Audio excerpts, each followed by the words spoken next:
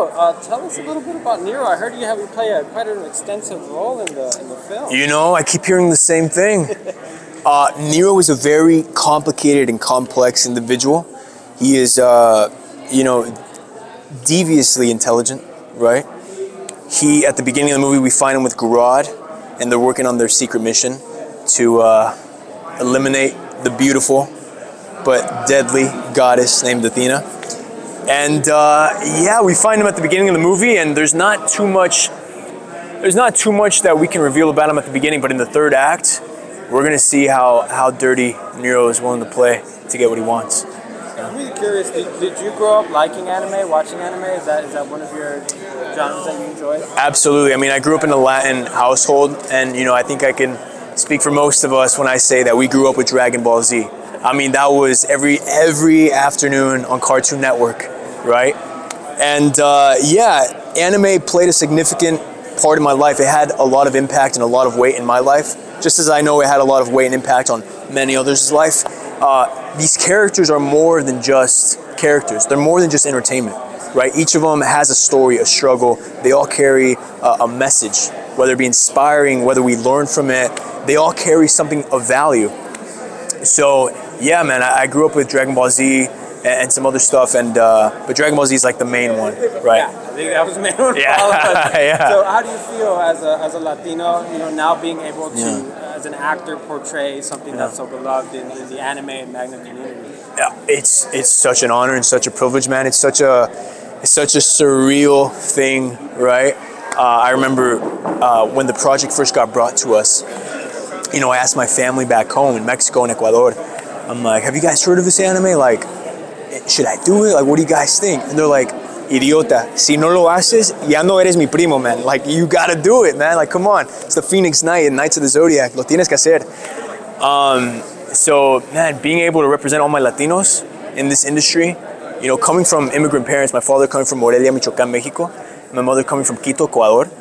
I mean, brother, I've, I've seen them struggle. I've seen their own journey, and they they made it so far, right? And now they passed over the torch, and now it's now it's my time, right? I'm gonna take over from my parents. I'm gonna lead the, you know, la, nuestra gente, my bloodline, and I'm gonna keep going, and then and I'm gonna pass that torch on to my kids. And I think that's what we gotta do, you know, as Latinos, we gotta keep doing that. We gotta think beyond just ourselves. We have to think para para los niños, for our kids, for for the next generation, right? And we gotta we gotta guide them on the right path. So hopefully this movie does that. Hopefully by Latino kids seeing my face on a movie screen, they're gonna be like, damn, he did that. I could be a doctor. I could be a lawyer. I mean, if he's being a superhero, I could probably be, you know, a lawyer, a doctor, have my own negocio, you know. And uh, I mean, that's the message I want to put out there. And, and I'll always encourage kids to uh, follow their path and stay motivated, stay on the right track, and uh, and chase their dream. With, with you growing up with, with watching shows like Dragon Ball, how do you feel that of this live action version uh, honors kind of the animated one? Because sometimes animation is able to exaggerate certain features, Absolutely. certain actions. Yeah. Um, how do you feel this one does? does? I, I thought we did a great job. We changed some things up, obviously. Like um, I think in the original Caballeros de Zodiaco, there's like the cube, right? And it comes out, and that's how the, the characters get their cloth.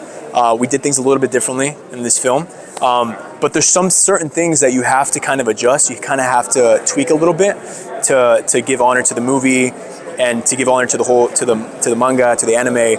And uh, yeah, there, there's some things we had to uh, tweak a tiny bit, but not too much, not too much. And we changed Ikki to Nero, but you know what I mean. Both names are pretty badass, so I'm not too uh, disappointed about that. What do you think makes Knights of Zodiac unique from other animes?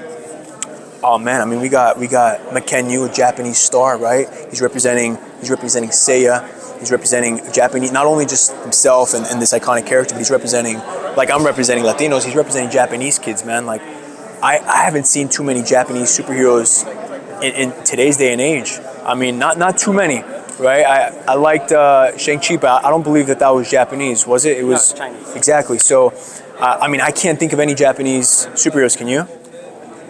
There's, I mean, there, there's a lot of there's a lot of groups, but Yeah. just particular Yeah. heroes, not not. Not entirely. Not at the top of my head either. Um, so so yeah, man, that's that's gonna be a, a huge impact with this movie. Kids are gonna be able to see that. They're gonna be able to relate to it, and again, feel empowered, feel seen, feel heard. And uh, on top of that, man, we got a pretty cool cast. You know, we got Sean Bean, King in the North, Famke, Just, uh, Janssen, um, X Men, Jean Grey, uh, Madison Iseman, Jumanji, Mackenyu, big Japanese superstar, uh, Mark Dacascos, big star, obviously, right? And uh, and then of course myself, you know, the kid from the block. So, um, yeah, man, our, our cast, you know, the writing was very great. It tells a compelling story with a good message. And overall, man, I, I, like inspiring messages. Those are the types of movies I want to do. Those are the types of projects I want to be involved in. And if it if you can leave the movie with uh, with something impactful that benefits you in a positive way, then I think we did our job. And hopefully, you know, that's up to the audience. So May 12th, go check it out. Let us know.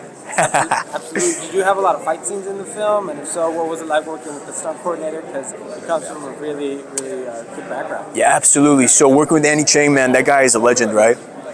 Rush Hour 1, Rush Hour 2 with Jackie Chan, uh, Marvel Shang-Chi again.